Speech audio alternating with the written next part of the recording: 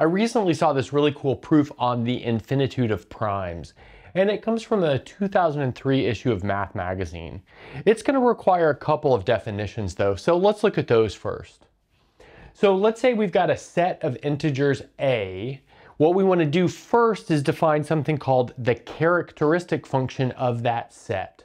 We'll call it chi sub a, and it'll go from the integers to the set containing 0, 1. And what it'll do is it'll take in an integer n, and it'll give us the number 1 if n is an element of A, and it'll give us the number 0 if n is not an element of A. So it's like a yes-no question. Is this number inside of A or is it not inside of A? And there's nothing really special with this being a subset of the integers. You just really need some sort of big universal set in order to look at characteristic functions of subsets of that set. But for our purposes, we're going to look at the integers. Next up, we'll say that a set A, which is a subset of the integers, is called periodic if its characteristic function is periodic. Okay, so let's look at some examples. Let's say we've got this set A here, and it contains the numbers negative 8, negative 7, negative 5, negative 4, negative 2, negative 1, and then the positives of all those as well. And then the pattern continues. So let's maybe quickly notice that this is everything except for multiples of 3. I think that's pretty clear by what we see here. Now let's look at what the characteristic function does to the integers here, the characteristic function of this set. So negative 6 is not an element, so we'll get 0. Negative 5 and negative 4 are elements, so we'll get 1. Negative 3 is not. Negative 2 and negative 1 are. For 0, we get 0, and that's because 0 is a multiple of 3. And then for 1 and 2, we get 1 because they're elements of the set. For 3, we get 0. 4, 5 get 1. 6, we get 0. So let's observe that this is pretty clearly periodic. It has a period of three.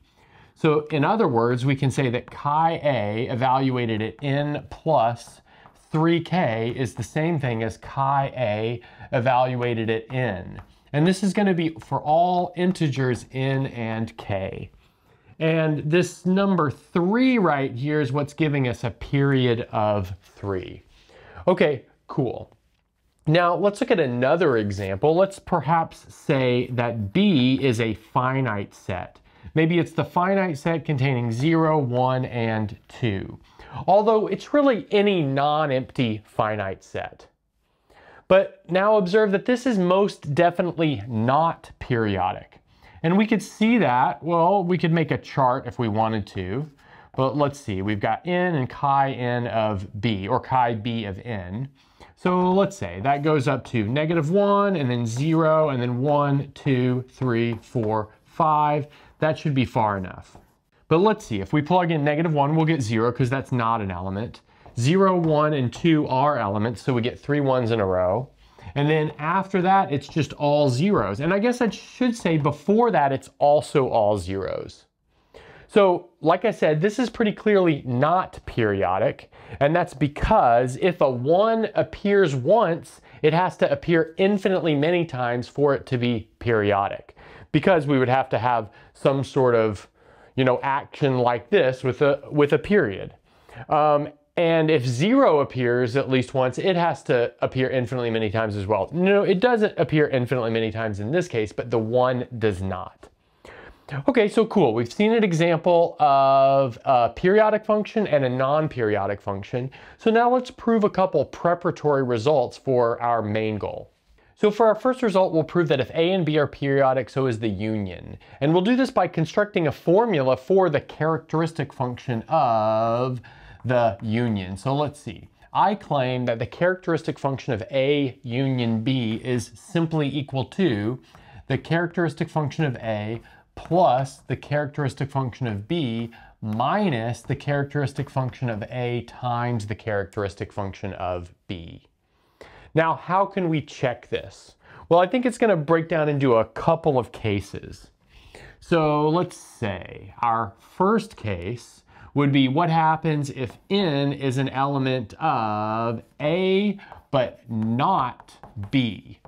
And I guess I should say that this is in parallel to the case where n is an element of b, but not a. So these two cases will go like very, very similarly. So now let's observe that in this case, or in both of these cases, we have that n is an element of a union b for sure. So if we plug n into this function, we should get the number one. So let's make sure that we do. So chi a union b of n is equal to chi a of n plus chi b of n minus chi a of n times chi b of n. But let's make sure that this right-hand side is doing what we want it to. And in fact, it will be. And we can see that pretty clearly because these first two terms are either of the form 1 plus 0 or 0 plus 1. Because remember, our element n is in one of the sets but not the other. But that makes the product either 1 times 0 or 0 times 1. But either way you shake that, you're going to get the number 1 in the end. So that means, yes, this right-hand side, at least on elements like this, is behaving like the left-hand side. So now let's check for the other two cases. So our second case will be what happens if n is an element of A intersected with B. But notice A intersected with B is a subset of A union B, so that means that n is an element of A union B2. Which means when we evaluate n, inside of the characteristic function, we should get 1. So let's see, n, or sorry, chi a union b evaluated at n. Well, through a very similar calculation to this above, we'll have 1 plus 1 minus 1. Of course, the zeros are going to change to 1s in this case, because n is an element of both a and b. But of course, that's going to give us 1. So we've got our right-hand side is behaving correctly on elements like this. Okay, cool. But now the last case is N is outside of A union B. But let's observe that that means that N is not in A and N is not an element of B. But now if we do our calculation, chi A union B evaluated in this case, we're just gonna get the calculation 0 plus 0 minus 0 because all of those terms are gonna be 0. In other words, we get 0. So yes, that means this right-hand side satisfies all of the things it needs to satisfy to be this characteristic function. Okay, so now let's use this to show that we in fact have a periodic characteristic function for the union. So thanks for sticking around this long. If you're enjoying the video, make sure to give it a thumbs up, and if you haven't subscribed yet, please consider subscribing. It really helps us out. Okay, so earlier we proved that this characteristic function for the union has the following expression in terms of the what I'll call component characteristic functions. And now we want to show that our union characteristic function is periodic. In fact, there's not much to do here because we know that if you algebraically combine periodic functions, you should get a periodic function. That being said, let's make sure to check that. So let's say that uh, chi A has period A, so it's periodic with period little a. And let's say that chi B is periodic with a period of little b. But now let's look at the following. Let's look at chi of A union B evaluated at n plus k times AB, where here we have n and k are arbitrary integers. But now let's note that by our formula that we uh, showed held, that's going to be chi a evaluated at n times, I'm going to write this as kb times a, and then we'll have plus chi b evaluated at n plus, and I'll write this as ka times b. And then we'll also have plus, and I'll just put the product here. I'll let you write those terms out if you need to. But now let's observe that since chi a has a period of a, this first term is simply the same thing as chi a of n. And since chi b has a period of b, this second term is simply chi b evaluated at n. And then the terms in the product go exactly the same way. So we'll get chi a evaluated at n times chi b evaluated at n. But of course, in the end, that is chi A union B evaluated at n. But see, starting here and ending here shows us that this is periodic. It in fact does not tell us the period.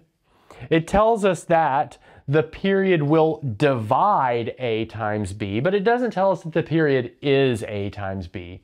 But it does tell us that it is periodic. But that's what we wanted to do for this claim. Okay, we've got one more preparatory claim and then we'll prove our main result. Okay, so for our second claim, we'll prove that if A is periodic, then the complement of A, in other words, Z minus A is also periodic. And this one is actually super fast. There's hardly anything to do. And that is because, let's notice, for all integers n, if we take chi of, let's see, the complement of a, which is z minus a evaluated at n, well, that's going to be equal to, let's see, 0 if n is an element of a, and then 1 if n is not an element of a. It's kind of the opposite of the characteristic function. But let's observe that we can rewrite that as 1 plus chi of a evaluated at n mod 2. So in other words, we just add 1 to whatever chi a of n is, and then we reduce mod 2. But now, notice that if chi a is periodic, then this right-hand side is going to be periodic, which makes this left-hand side periodic as well. So needless to say, the complement of any periodic set is periodic. Okay, cool. Now we're ready for our main result. Okay, so let's recall that what we're trying to do here is show that there are infinitely many primes using this structure of periodic sets. So let's get to it. So this is going to go like a lot of proofs of infinitely many primes, and that's going to be we will work towards a contradiction. So by way of contradiction, let's suppose there are only finitely many primes. Okay, cool. And then after that, what we want to do is build a set out of each prime. So for each prime, we'll call that prime P, let's define the following set. And I'll call the set A sub P. And it's simply all integer multiples of P. So it's everything of the form m times P, where m is an integer. And we would maybe write that as P times Z if we wanted to. So that would be kind of the same way of doing that. But let's notice that these are all periodic. All of these sets are periodic. And I think that's pretty clear because, well, what do you get? You get a bunch of zeros, and then for every pth number, you get a 1. So you get a 1 at 0, you'll get a 1 at p, 2p, uh, 3p, so on and so forth. So this is periodic with period p, if you will. Okay, good. So now what we want to do is set just normal capital A be the union over all primes P of A sub P. And let's observe that because we are assuming that this is a finite collection of primes, because we're assuming there are finitely many primes, this is in fact a finite union of periodic sets. But let's recall we proved that the union of two periodic sets is periodic. But then by induction, we could prove pretty easily that a finite union of periodic sets is periodic. So in other words, here we have that A is periodic. Okay, but let's see. What does A contain? Well, notice that A will contain everything except for 1 and negative 1. Now, how do we know that? Well, simply by the fundamental theorem of arithmetic. Everything has a prime factorization. So every number other than 1 and negative 1 is a multiple of some prime. So it will be in that A sub p. So, well, what does that mean? Well, that means that z minus a simply contains negative 1 and 1. But then why is that problematic? Well, since a is periodic, we know that z minus a is also periodic. That was our second result. But then by an observation we made earlier, and I didn't prove this carefully, but we definitely waved our hands at it and gave an example, we showed that finite sets were not periodic. So that means that this negative one and one is not periodic. But check it out. We just showed that this z minus a was simultaneously periodic and not periodic. So that's a pretty clear contradiction, contradicting this assumption we made up here that there are finitely many primes. So that means there can't be finitely many primes. In other words, there are infinitely many primes. And that's a good place to stop.